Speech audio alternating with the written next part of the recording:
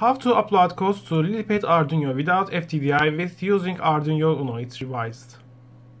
Today I'm going to show you how to upload codes from Arduino IDE from your computer to Arduino Lilypad Atmega 328. I used to have a problem with my FTDI module while I am trying to upload any on Arduino IDE designed codes from my computer to Lilypad Arduino Atmega 3, 328 board.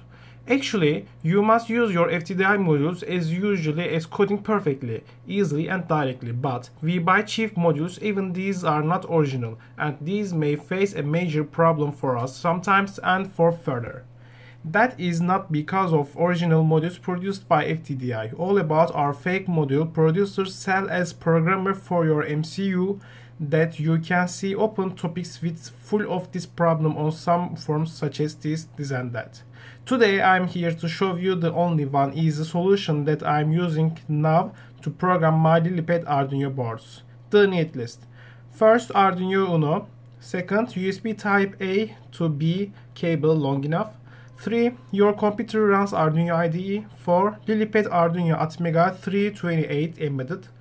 5. Male female cables. 6. Tiny breadboard for tiny cable connections. Step 1. Remove Atmega 328 from Arduino Uno.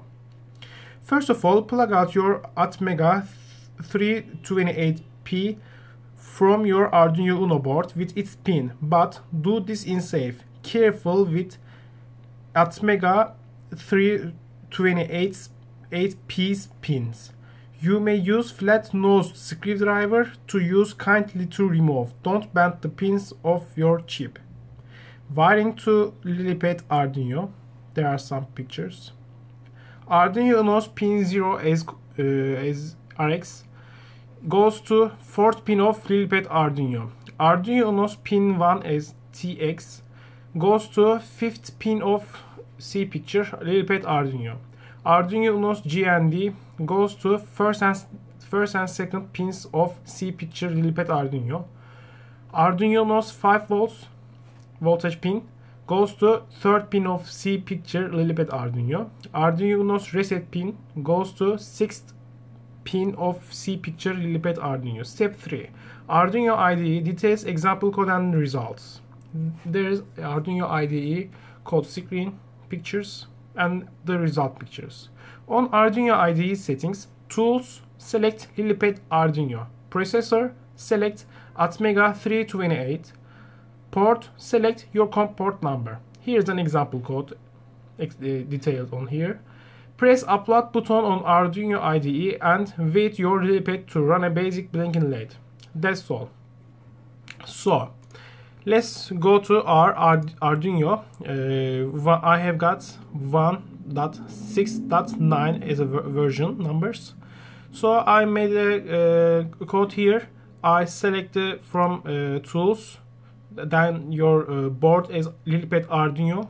Even though you are using Arduino Uno without the chip, we, we must select our target. Uh, the processor is Atmega 328 because I have that, uh, and the COM number 4 I've got. We, may get the board info is like that. It's it's it's show us as Arduino Genuino Uno. That's it's that's okay because of the programmers. So how about the connections? This is my computer and this is my USB cable. USB cable is attached to Arduino Uno board. Then Arduino I've used a tiny breadboard with tiny cables with colors to the Lilypad Arduino. So let me check a code example. Uh, let me change the delay second as uh, 300 instead of 3 2000 sorry 200 instead of 2000 so now it's uploading the code and let's check it and check the whole system. Yeah you may see there are RX and uh, TX uh, LEDs are uh, blinked. And now the code is successfully uploaded to Arduino uh, Lilypad so that's all folks. We may reset it like that and it's begin to run its code inside. And uh, how you can also uh, reset your board with this as you can see. Yep that's all. Thank you very much for your interest